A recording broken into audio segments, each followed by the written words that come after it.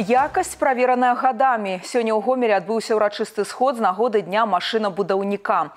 На ім ушаноўвалі лепшых супрацоўнікаў гомсельмаша. Дарэчы, 2020 год асаблівы для прадпрыемства. У кастрычніку калектыў азначыць 90 год з моманту пачатку вытворчасці.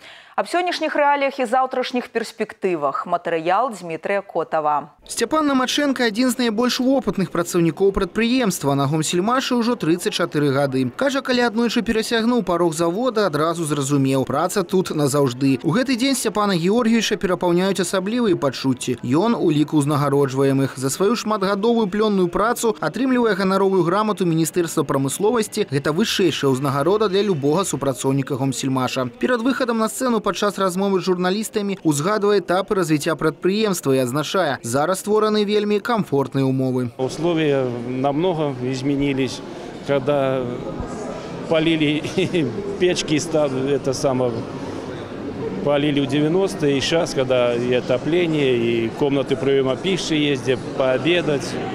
В общем, много делает администрация для того, чтобы условия улучшались с каждым годом. Гомсельмаш сёння з'яўляецца флагманам айчыннага машынабудаўніцтва. Старшыня гомельскага аблвыканкама Геннадзь Салавей адзначае, дзякуючы інавацыям прадпрыемства дынамічна развіваецца, што станоўчым чынам адбіваецца на агульных поспехах аграрнага сектара рэгіёна. Тот новый комбайн, который в прошлом году газомоторный мы э, приобретали у вас и внедряли в наши сельхозорганизации, как трудно дошло.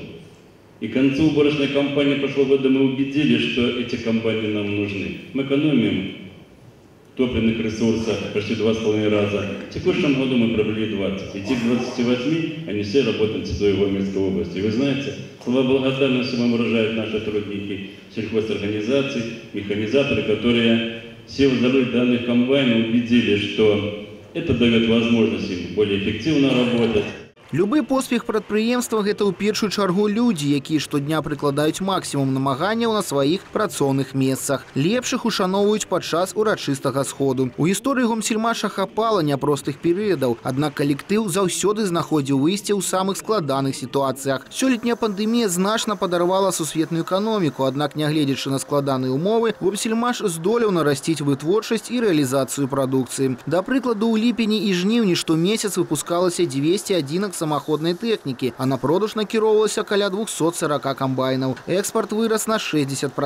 Адкрыты новыя рынкі збыту. Спіс гандлёвых партнёраў папоўніўся Арменіяй і Зімбабве. Прадпрыемства не спыняецца, наперадзе шмат планаў. Нам предстоит на самом деле в ближайшее будущее достаточно большой, большой объем работы, и мы это прекрасно понимаем и знаем. Это совершенствование техники э, по надежности, по качеству, это снижение затрат, модернизация производства. Но я уверен, что мы, гумсельмашевцы, с честью с, с этими задачами спра- справимся и выведем наше предприятие на совершенно другой уровень. Дмитрий Котов, Валерий Гапанько, телерадиокомпания «Гомель».